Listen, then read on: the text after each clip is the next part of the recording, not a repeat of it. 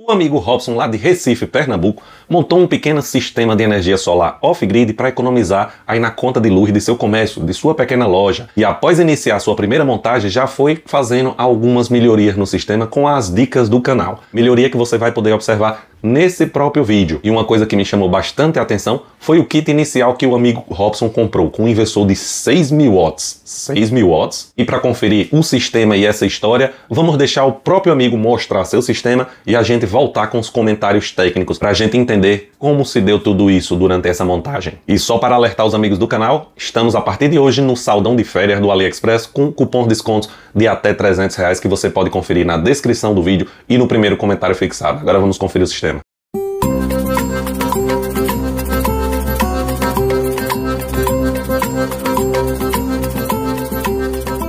Tá, aqui Robson, de Recife, Pernambuco. Mostrando aqui minha plaquinha de 150 watts. Começando energia solar off-grid. Aqui o fio. Descendo para a loja, que eu montei para diminuir a conta de luz aqui da minha lojinha. Não tinha alumínio. Foi, não se vira nos 30, foi ripa. Coloquei ripa aqui. Aí futuramente eu vou comprar mais outra plaquinha eu queria umas dicas suas. Pronto, tá, seja aqui é meu sisteminha que eu montei, vendo teus vídeos aqui. Aí esse aqui é o disjuntor que vai para as plaquinhas, para a placa, DPS, esse aqui que vai para a bateria, o azulzinho aqui que eu vou trocar. Eu já comprei aquele que é, fizesse até um vídeo, que é preto e laranja. O último vídeo teve um, se era real ou não, o MPPT comprei ele. Aí quando eu comprei esse kitzinho aqui, veio ele, uma plaquinha daquela de 10 watts e veio esse inversor, que diz que é de 6 mil, mas eu não sei qual é a potência dele. Botei uma lâmpada aqui, né, quando faltar, e esse cabinho aqui que vai lá pra a minha lojinha. E aqui, aterramento, não sei se está certo junto, e vai a bateria lá pra dentro e o aterramento aqui. Aí aqui tá minha bateria de 60 amperes de 12 volts. Ampere hora, né? Eu vou arrumar aqui que ela tá aqui no chão. Não sei se pode deixar a bateria no chão, mas ela tá com plástico. Que eu deixei ela com plástico ainda.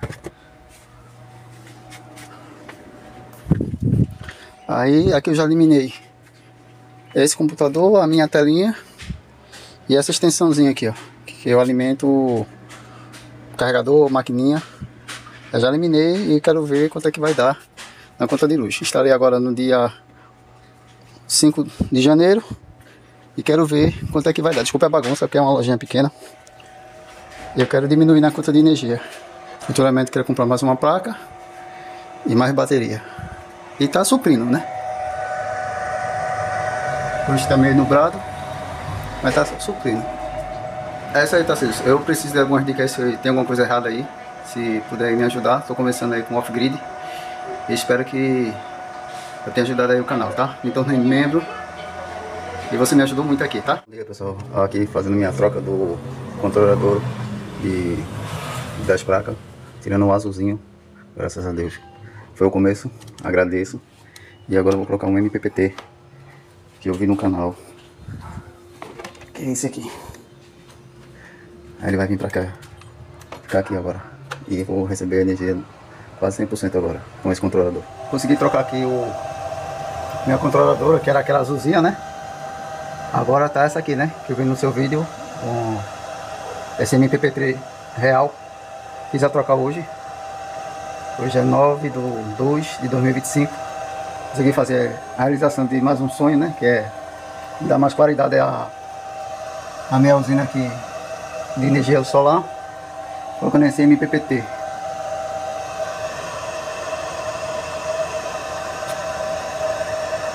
Agora são 11 horas e 40 minutos em Recife, Pernambuco. E ela está produzindo isso aqui. Eu não mexi na configuração que ainda não sei, né? Vou ver se no seu canal tem um vídeo de configuração desse MPPT. Para ver se está certo.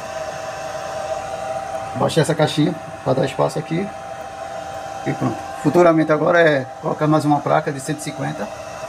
A bateria que é de 60 até hora colocar mais uma de 60.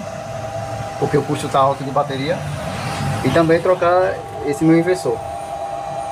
Que veio naquele kitzinho da AliExpress. Mas futuramente também quando levantar dinheiro, trocar isso aqui também. Porque realmente, quando você está gostando, você quer ampliar, ampliar para ter a capacidade máxima para você economizar na conta de energia. Né? Estou esperando chegar a conta de energia para divulgar aí quanto eu economizei com esse mini kitzinho aqui. Uma placa solar de 150, uma bateria de 60 PH da Moura, troquei a azulzinha, a controladora para esse MPPT e depois trocar o inversor, né? Valeu aí. Pois é, amigos, como vocês acabaram de ver aí com o amigo Robson demonstrando o seu próprio sistema, a gente já viu de cara que aquele inversor, esse kitzinho aqui, que é muito comum vender em sites chineses, que promete aí 6 mil watts, 4 mil, na verdade é um pequeno kit com uma plaquinha entre 10 a 20 watts, um controladorzinho de carga PWM e um pequeno inversor que no caso do amigo deve chegar aos 200, 220 watts na melhor hipótese. Que achei interessante foi que supriu a demanda dele, que era ali para uma iluminação em sua loja, um computador, uma tomada de recarga, uma de monitoramento, uma impressora. Então, nesse caso específico, com essa pequena demanda, ele conseguiu ainda aproveitar esse pequeno inversor que não tem nada de 6 mil watts. Como os amigos mesmo notaram, já fez aí uma grande evolução saindo do PWM para um MPPT real, onde o amigo vai tentar melhorar a medida do possível com as seguintes dicas aí para o amigo. A primeira coisa que ele pode fazer, comprar mais uma plaquinha aí de 150, colocar em série com essa que ele já tem, ligar no MPPT e aí sim ele vai desfrutar